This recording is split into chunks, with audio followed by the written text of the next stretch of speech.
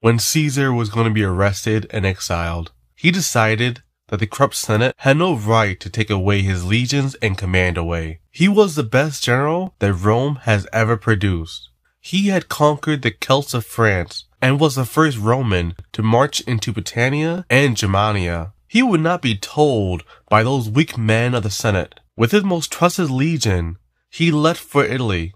There, in front of a little river, 10,000 loyal men behind him and a failed government ahead. He told them, the die is cast. He crossed the Rubicon River, the border into Italy, and started the last set of civil wars that would destroy the Republic.